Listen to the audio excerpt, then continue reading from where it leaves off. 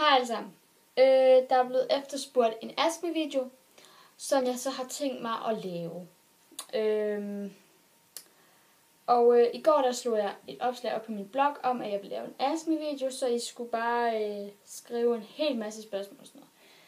Det kom der desværre ikke på min blog. Men så tænkte jeg, så skriver jeg det på Instagram. Det gjorde jeg så.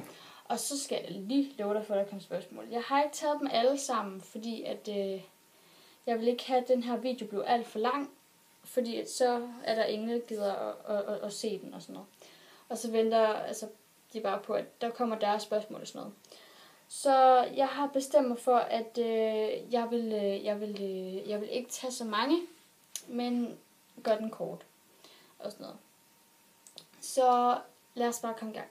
Har du en kæreste? Nej, jeg har to.